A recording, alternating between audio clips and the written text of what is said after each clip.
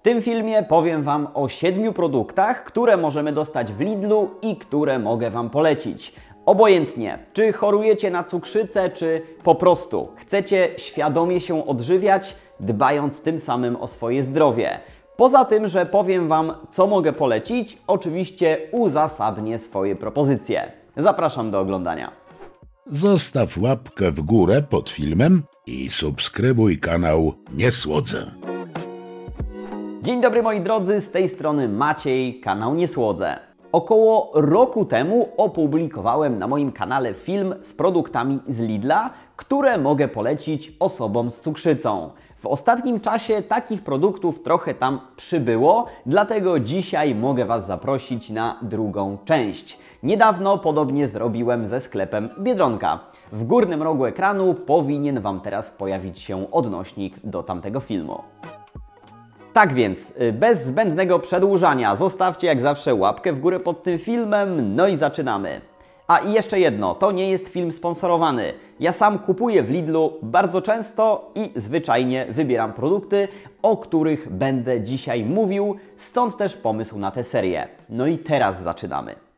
Dla mnie zakupy w Lidlu to prawie zawsze wrzucenie do koszyka jakiegoś batona. Pod tym kątem jest tam naprawdę duży wybór i nie mówię rzecz jasna o kupowaniu, nie wiem, Twixa, Marsa czy Snickersa, ale o batonach o lepszym składzie. W ostatnim filmie z Lidla polecałem batony RAF. No i dzisiaj będzie podobnie, bo trafiłem na batony RAF, ale w wersji z większą ilością białka. W tej zwykłej wersji było go około 6%, a teraz aż 25%. Poza tym jest to baton bez dodatku cukru. W składzie znajdziemy orzechy arachidowe, daktyle, izolat białek serwatkowych, błonnik i aromaty.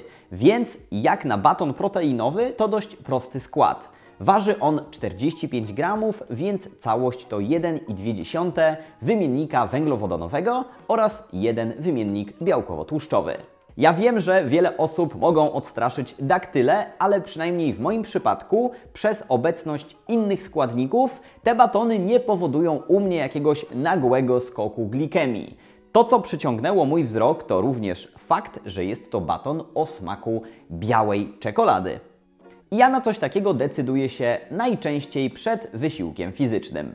Drugim batonem, na którego trafiłem po raz pierwszy w Lidlu jest baton proteinowy, który ma natomiast 50% białka. Ma smak kakaowy, a jego skład jest dużo bardziej skomplikowany od tego poprzedniego i znajdziemy w nim m.in. tłuszcz palmowy, więc mogę go polecić, ale jedynie warunkowo. Cały ten baton waży 45 gramów i dostarczy nam tylko 1 grama węglowodanów przyswajalnych. Tak, y, nie przesłyszeliście się, to nie jest jeden wymiennik węglowodanowy, tylko 1 gram węglowodanów. Cała reszta to białko, tłuszcz oraz oczywiście y, słodziki i wymienników białkowo-tłuszczowych jest tutaj około 1,3. Więc jest to taki pewien rodzaj, mimo że jest to baton i jest, y, ma słodki smak, no to jest to taka przekąska białkowo-tłuszczowa. Ma nie najlepszy skład, nie jest to zdrowy produkt, ale jeżeli chcecie nie jeść węglowodanów, to możecie sobie sprawdzić. Kolejnym produktem, a w zasadzie grupą produktów są te marki Dobra Kaloria, a dokładnie zamienniki mięsa. Je możecie oczywiście znaleźć też w innych sklepach, jak na przykład chyba Biedronka i jest coraz większy wybór, jeżeli chodzi o produkty z dobrej kalorii i mogę Wam je polecić, jeżeli chcecie ograniczyć spożywanie mięsa. Możecie znaleźć burgery, kotlety, klopsy czy kiełbaski. A dlaczego je polecam? Nie dlatego, że jestem przeciwnikiem spożywania mięsa, no bo nie jestem, ale dlatego, że takie zamienniki w smaku zastępują mięso i jednocześnie dostarczają nam białka i tłuszczu roślinnego przy niewielkim tak naprawdę udziale węglowodanów. Przykładowo taki jeden kotlet będzie miał około 8,5 g węglowodanów i 2,6 wymiennika białkowo-tłuszczowego. I jeszcze wracając do samego mięsa. Tak jak powiedziałem, ja nie jestem przeciwnikiem spożywania mięsa, ale na pewno jestem zwolennikiem ograniczania jego spożycia. Stąd też zobaczycie u mnie całkiem sporo przepisów, których mięso w ogóle się nie pojawia, a nawet jeden cały film poświęciłem wyłącznie przepisom z tofu. A jeżeli jesteśmy przy temacie mięsa, to nie mogę tutaj nie wspomnieć o produktach marki Peacock Pure. To jest marka, której produkty możemy znaleźć jedynie w Lidlu i które pod wieloma względami wypadają lepiej niż większość tych konkurencyjnych. Przykładowo parówki z filetem z indyka. Wiadomo, że parówki no to są z zasady produkty mocno przetworzone, no i nie powinny znajdować się w naszej diecie na stałe. Ale jeżeli mamy już na nie ochotę, to jak najbardziej mogę polecić Wam te.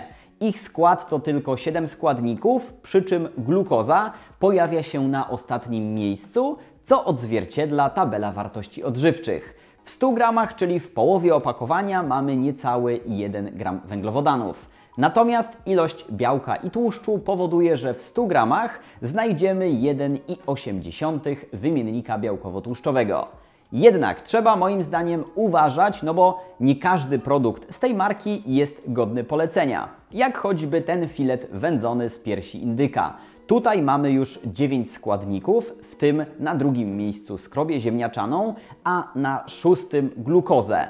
Finalnie nie jest dużo węglowodanów na 100 gramów, ale myślę, że kupując w dobrym, sprawdzonym sklepie mięsnym, możemy dostać coś z lepszym składem. Kolejny produkt jest, myślę, gwiazdą tego odcinka i moim niedawnym odkryciem. Mowa o keczupie od marki Roleski, który został nawet nazwany keczupem keto.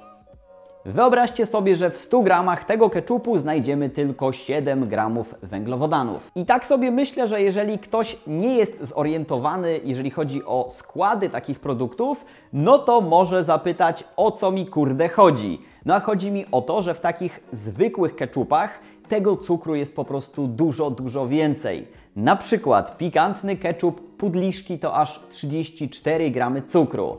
Sekret firmy Roleski polega na tym, że cukier po prostu został zastąpiony słodzikiem, a dokładnie sukralozą. Minus jest jednak taki, że trafiłem na ten ketchup tylko raz, no a rozglądałem się za nim w sumie w każdym Lidlu, w którym byłem.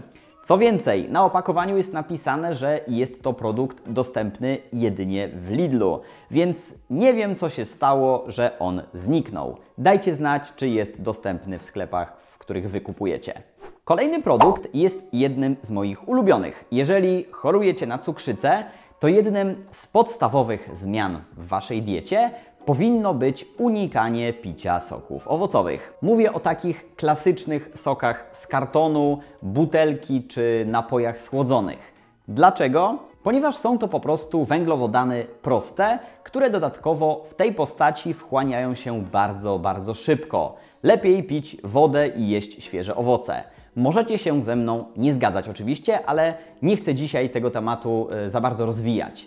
Zmierzam do tego, że w zasadzie jedynym sokiem, jaki ja piję od czasu do czasu, jest sok pomidorowy, a najczęściej pikantny. No i w Lidlu możemy dostać taki od firmy Międzychód i polecam Wam go bardzo mocno. W jego składzie znajdziemy jedynie pomidory i sól. Dzięki temu w 100 ml jest tylko 2,4 g węglowodanów, więc całość to 0,8 wymiennika węglowodanowego. Indeks glikemiczny takiego soku pomidorowego szacuje się na 38, więc nisko. No a cała taka butelka będzie miała ładunek glikemiczny około 3, więc no cóż, bardzo nisko. No i polecam Wam mocno, jeżeli lubicie smak pomidorów. Dla mnie jest to jak najbardziej ulubiony sok warzywny. Właściwie no innych soków nie piję, chyba że mam hipoglikemię, no to czasami decyduję się na sok zamiast dextro. I tyle, ale taki soczek pomidorowy jeszcze z lodówki, pikantny, no rewelacja. I kolejnym produktem, a w zasadzie grupą produktów są makarony wege marki Tiradel. Mamy makaron z mąki, z groszku, ciecierzycy i czerwonej soczewicy. Ja wybrałem właśnie ten z soczewicy i mogę polecić Wam go z kilku powodów. Przede wszystkim ma mniej węglowodanów niż makaron ze zwykłej mąki. Tabela, którą teraz widzicie, odnosi się do ugotowanego makaronu. Do tego ma znacznie więcej białka i całkiem spore ilości błonnika. Polecam Wam wypróbować sobie te makarony. Teraz w górnym rogu ekranu pojawi Wam się odnośnik do filmu, w którym pokazywałem przepis na makaron z groszku. Zapraszam serdecznie. Moi drodzy, poza zostawieniem łapki w górę pod tym filmem możecie też napisać, jakie produkty z Lidla należą do Waszych ulubionych. Może będzie to dla mnie inspiracja do przygotowania kolejnego filmu właśnie z tej serii. I koniecznie zobaczcie też filmy z Biedronki, no i ten pierwszy film z Lidla. A na dzisiaj z mojej strony to już wszystko. Dziękuję Wam bardzo serdecznie za uwagę. Życzę Wam jak zawsze dobrych cukrów. Widzimy się w kolejnych materiałach. Trzymajcie się ciepło. Cześć!